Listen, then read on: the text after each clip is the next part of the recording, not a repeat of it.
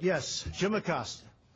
Uh, thank you, Mr. President. Uh, I, I, wonder if you could comment on uh, this disconnect that we seem to have in this country where you are presenting information about what's happening at the border, calling it an invasion, talking about women with duct tape over their mouths and so on, and yet there's a lot of reporting out there, there's a lot of crime data out there, there's a lot of uh, Department of Homeland Security data out there that shows border crossings at a near record low. Uh, that shows us, un still, undocumented immigrants me, committing crime at lower levels. Uh, that shows undocumented criminals or undocumented immigrants committing crime at lower levels than native-born Americans.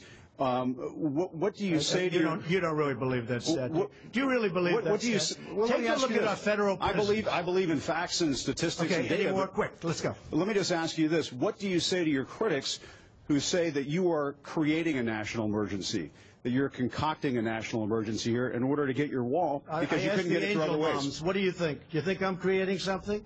Ask these incredible women who lost their daughters and their sons, okay? Because your question is a very political question because you have an agenda. You're CNN. You're fake news. You have an agenda. Uh, the numbers that you gave are wrong. Take a look at our federal prison population. See how many of them, percentage-wise, are illegal aliens. Just see. Go ahead and see. It's a fake question. Yes, go ahead. Can I ask yeah. a follow-up? Moments ago, the president sounding off on Twitter as Mr. McCabe revealing new details about the investigation in the early uh, stages into President Trump, telling 60 Minutes that he opened the probe. And he also says the Justice Department held discussions about removing the president from office under the 25th Amendment. The president tweeting, quote, disgraced FBI acting director Andrew McCabe pretends to be a, quote, poor little angel, when in fact he was a big part of the Crooked Hillary scandal and the Russia hoax. A puppet for leaking James Comey, IG report on McCabe was devastating. Part of insurance policy in case I won. So he continued. Many of the top FBI brass were fired, forced to leave, or left. McCabe's wife received big dollars from Clinton people for her campaign. He gave Hillary a pass. McCabe is a disgrace to the FBI and a disgrace to our country. Make America great again. End of a long tweet. Chief Intelligence Correspondent Catherine Herridge live in Washington, and that's the latest from the president this morning. What's the latest there? Catherine, good morning. Well, thanks, Sandra. Good morning. Fox News first reported in October that FBI General Counsel James Baker told House investigators that McCabe said Deputy Attorney General Rod Rosenstein was serious about recording the president and invoking the 25th Amendment. Promoting his new book, McCabe confirms those May 2017 discussions and more to CBS News. Until now, Rosenstein and those close to the Deputy Attorney General have said his comments were sarcastic, but this has been at odds with testimony from Baker under oath, and even more so now with McCabe's 60 Minutes interview. Rosenstein has resisted calls to come to Capitol Hill to clear up the conflict. McCabe also confirms what has been widely reported that after FBI Director James Comey was fired by the president in May 2017, there were two investigations, one into obstruction of justice for the firing, and the other a counterintelligence case into alleged coordination between the Trump campaign and Moscow. I was very concerned that I was able to put the Russia case on absolutely solid ground in an indelible fashion that were I removed quickly or reassigned or fired, that the case could not be closed or uh, vanish in the night without a trace. I wanted to make sure that our case was on solid ground. An investigative source told Fox News McCabe was fired last March for committing three violations of the FBI's ethics code. They included lack of candor under oath, lack of candor not under oath, and the improper disclosure of non-public information to the media about the FBI's investigation into the Clinton Foundation. McCabe's case is now with the U.S. Attorney here in Washington, D.C. Sandra. Catherine, what's the DOJ's response? Mm -hmm.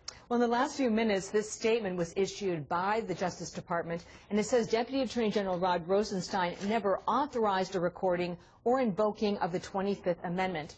But on its face, that does stop short of denying that these issues were ever discussed. It reads in part the Deputy Attorney General never authorized any recording that Mr. McCabe references, as the Deputy Attorney General previously has stated, based on his personal dealings with the President, There's no basis to invoke the 25th Amendment, nor was the Deputy Attorney General or DAG in a position to consider invoking the 25th Amendment, and that will certainly not be the last we hear of this story today, Sandra.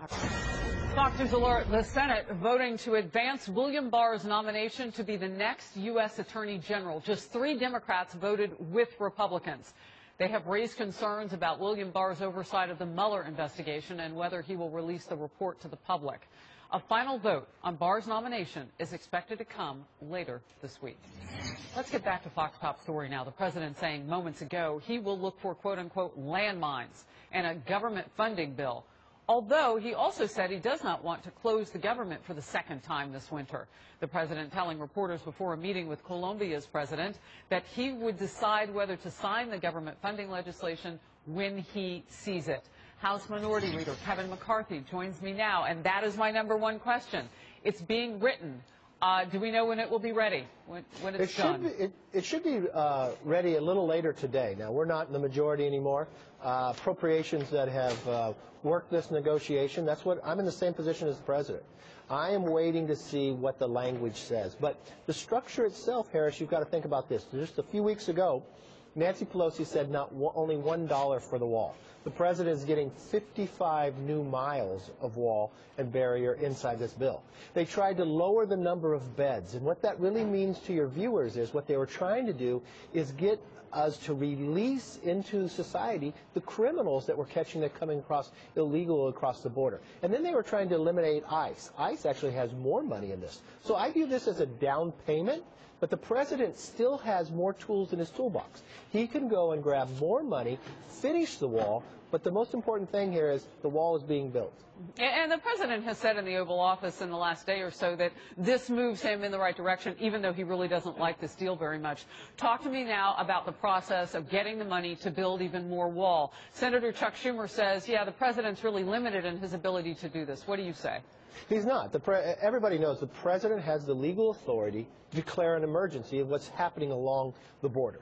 He can grab other money that's out there and use that to build the wall to finish off from the 1.4 billion that's inside this bill. And so we have 55 miles. The president wanted to go a full 200. That's where I was wanting to get more than $5 billion for the barrier. But he could grab other entities that have money and finish that as we go. And what we've really been doing is listening to the experts. And that's why I mm-hmm. want to re- read the bill because we want to make sure we're building in the top three places that the experts say you need these barriers to be in. Uh, what does everybody get? Because isn't that the whole point of a, a deal that actually works, is that people have skin in the game and Democrats get something, GOP gets something? Well, the Democrats don't want to give the president a victory. Uh, I, from Nancy Pelosi's view, I mean, she said walls are immoral, but the president's getting a victory there. They tried to eliminate the beds. Uh, we have the same cap that we had before, so maybe they can't can't expand too far, but we have the ability to do that. Um, I think what it really is is not providing the five billion, uh, just one tenth of one percent of the whole budget. Uh, I think that's the only thing that they think they're trying to hold the president back. But what's unique in this situation, this bill is a down payment. The president still has other avenues that he can use to get the rest of the money and finish it. Because this president will not give up. We'll make sure this border is secure. All right. Meanwhile, Vice President Mike Pence is going after Democratic Congresswoman Ilhan Omar after her recent tweets about Israel that mainly condemned as being anti-Semitic. Among them, tweets implying that pro-Israel lobby is buying off lawmakers. Here's the vice president earlier today. Representative Omar's uh, tweets were a disgrace. Uh, anti-Semitism has no place in the United States Congress uh, or anywhere uh, in our country or the free world. Unless Representative Omar resigns from Congress, at minimum, Democrat leaders should remove her from the House Foreign Affairs Committee. Should they remove her from that committee? I believe so. And remember this, Harris. Uh, what Congresswoman Omar was doing was referring to an article about what I was in, a reporter was saying, when I had a press conference saying that the Democratic leadership has stayed silent on what these anti Semitic comments that were being made. And if they stay silent, that means they agree with them. And she did another another tweet uh, over the weekend. And I think that was a, a place too far for even the Democrats. So they said she had to apologize. But Harris, remember this: When I had a member of our conference say something that was, to me, abhorrent, that it goes Representative Steve King. that is, that is not what the belief of the party of Lincoln believes in. We got together, not with the Democrats, but with our own, in our own steering committee, and removed him from any committee at all. Now, the Democrats are not doing that. They're allowing this to continue, saying a simple apology is Why do you think that is? I'm sure you're talking with your Democratic uh, colleagues across the political aisle. What are they telling you? Well, a number of Democrats across the aisle wish that Speaker Pelosi would take the same action that I took against Congressman King. That that would really put an end to this uh, anti-Semitic uh, statements that she is making. This isn't the first time. You look what she's been doing earlier in Congress as well. You look what uh, she's going on. Uh, hopefully, she's canceling the dinner. That she's going to have a dinner here in the next month, where an individual that's also going to be speaking at that dinner talks about the joy of 20 Jews being killed. Um, this is not the place we want to associate ourselves with, and it shouldn't be a partisan issue.